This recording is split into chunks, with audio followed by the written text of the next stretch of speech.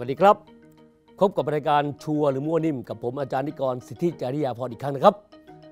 ผมรู้สึกดีใจมากครับครั้งนี้ เพราะว่าผมจะนำเสนอหัวข้อที่ยิ่งใหญ่ที่สุดในโลกเลยครับ เกี่ยวกับบุคคลที่ยิ่งใหญ่และสำคัญที่สุดในโลก นั่นก็คือองค์พระเยซูคริสต์หัวข้อที่จะบรรยายในครั้งนี้ก็คือ พระเยซูคริสต์คือผู้ใดท่านผู้ชมครับ ถ้าอยากรู้ว่าพระเยซูคริสต์คือผู้ใดเนี่ยครับอย่าฟังจากปากผมนายนิกรนะครับไม่มีประโยชน์ ถ้าอยากทราบว่าพระเยซูคริสต์คือผู้ใดเนี่ย ต้องฟังจากพระดำรัสของพระเยซูคริสต์เอง เมื่อประมาณ 2,000 ปีที่แล้วนะครับ พระเยซูคริสต์ยืนท่ามกลางฝูงชน แล้วพระองค์ตรัสประโยคนี้ ผมขออนุญาตที่จะอ่านพระคัมภีร์คำตรัสของพระเยซูให้ท่านผู้ชมฟังนะครับ พระองค์ยืนท่ามกลางฝูงชนแล้วพูดอย่างนี้ เรากับพระบิดา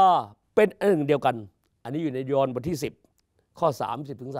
33 พระเยซูตรัสว่าเรากับพระบิดาเป็นอันหนึ่งอันเดียวกัน พวกยิวจึงหยิบก้อนหินขึ้นมาอีกจะคว้างพระองค์ให้ตาย พระเยซูจึงตรัสกับเขาว่า เราได้สำแดงให้ท่านเห็นการดีหลายประการของพระบิดาของเรา ท่านทั้งหลายหยิบก้อนหินจะคว้างเราให้ตาย เพราะการกระทำข้อใดเล่า พวกยิวทูลตอบพระองค์ว่า เราจะคว้างท่านไม่ใช่เพราะการกระทำดี แต่เพราะการผู้เป็นประมาทพระเจ้า เพราะท่านเป็นเพียงมนุษย์ แต่ตั้งตัวเป็นพระเจ้าท่านผู้ชมครับ ไม่ว่าใครอ่านพระคัมภีตอนนี้ของพระเยซูนะครับ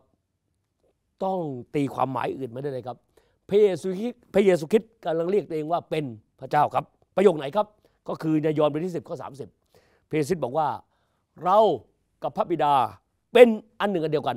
ภาษาอังกฤษใช้คำนี้ครับ I I and my father are one แหมผมชอบภาษาอังกฤษนะครับ เพราะว่าถ้าภาษาอังกฤษนะถ้าแปลเป็นภาษาชาวบ้านนะครับ ความหมายก็คืออย่างนี้ครับ เพซิตกำลังจะตัดว่าเรากับพ่อเราพระเจ้าสร้างโลก พันเดียวกัน พ่อเราเป็นพระเจ้า เราเป็นลูกพงเราจึงเป็นพระเจ้าด้วย ถ้ามีคนคนหนึ่ง เดินเข้าไปในห้างสรรพสินค้าที่ใหญ่โต แล้วคนกำลังช้อปปิ้งอยู่ห้างสรรพสินค้าเลย แล้วถ้ามีคนหนึ่งยืนเดินเข้าไป หรือผมก็ได้เดินเข้าไป แล้วก็ยืนตบมืออย่างนี้ครับ แล้วก็กางมือแล้วพูดอย่างนี้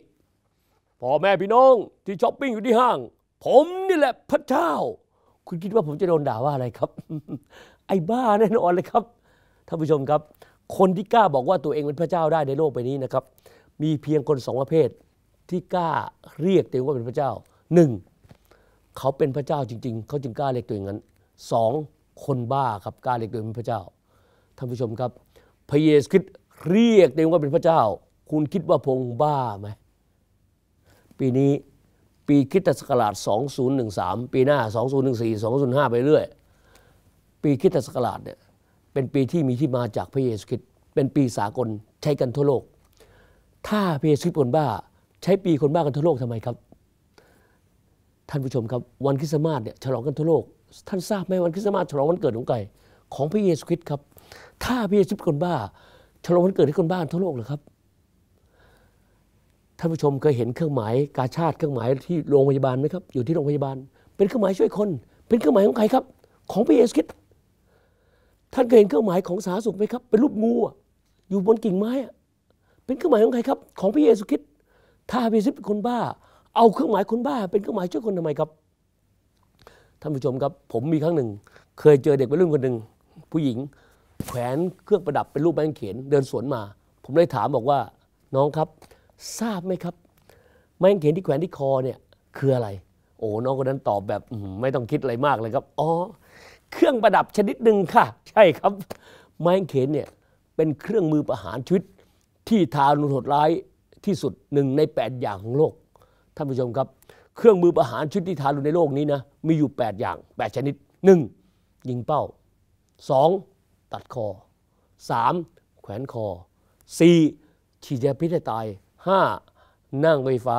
6. ที่ตัดหัวของฝรั่งเศสกิโยติน 7. ที่ตัดหัวสุนัขเป่าบุญจิน 8. ไม้กางเขน ตอนนี้ผมถามท่านผู้ชมหน่อยครับ ตั้งแต่ท่านเกิดมาเป็นคน จนนั่งฟังพูดในตอนนี้ ท่านเคยเห็นเครื่องมือประหารชีวิตอันไหนไหมครับ ได้รับการยกเหมือนไม้กางเขนไม่มีทางเลยครับ วันอาทิตย์นะครับ ถ้าท่านมีโอกาสว่างท่านผู้ชม ลองไปคิดจักสิครับ ท่านเห็นบทเพลงยกย่อง เครื่องมือประหารชีวิตนี่คือไม้กางเขนเต็มไปหมดเลย ผมร้องให้ฟังทั้งสองเพลงก็ได้ครับที่กางเขนที่กางเขน ข้ายินดีเสมอไปข้าจะแบกกางเขนแล้วเดินตามข้าจะแบกกางเขนแล้วเดินตาม เขายกย่องอะไรครับเขายกย่องเครื่องมือประหารชนิดนี้คือไม้กางเขนทำไมเขายกไม้กางเขนทำไมเขายกเครื่องมือประหารชนิดนี้ นั่นไม่มีคำหมายอื่นเลยครับ นั่นเพราะว่าเพซิตไม่ใช่คนบ้า ในเมื่อผมไม่ใช่คนบ้าผมเป็นอะไรครับ เป็นพระเจ้าจริงๆไงครับท่านผู้ชมครับ ภาษาเหนือบอกว่าขอสูงมาเตะถ้าพระเยซูไม่ใช่พระเจ้านะพระองค์ก็เป็นคนบ้า และถ้าหากพระองค์เป็นคนบ้า ผมนายนิกรเชื่อใครอยู่ครับ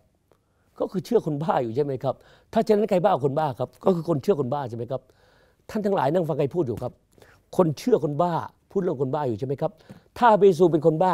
ใครบ้าคนเชื่อคนบ้าพูดเรื่องคนบ้า ก็คือคนเหล่านั้นที่นั่งฟังคนเชื่อคนบ้าพูดเรื่องคนบ้า สุดแล้วพวกท่านทำไมครับอ่าไม่บ้า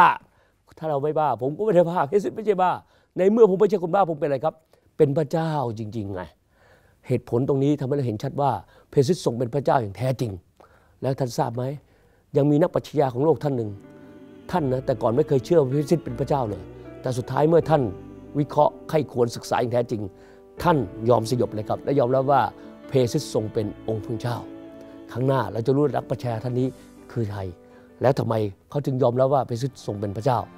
ครั้งหน้าอย่าพลาดนะครับสำหรับวันนี้รายการชัวร์หรือโมวนิ่มกับผมอาจารย์นิกร สิทธิจริยาพรขอลาไปก่อน ขอพระเจ้าอวยพรทุกท่านนะครับ สวัสดีครับ